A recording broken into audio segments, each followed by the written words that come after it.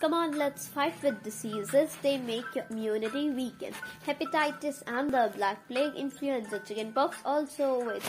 They are infectious and can spread, sometimes mild, sometimes serious instead. Wash your hands frequently and kill all the germs you can see. Avoid contact with each other, else time will be more tougher. Don't forget to use mask. This should be your first task.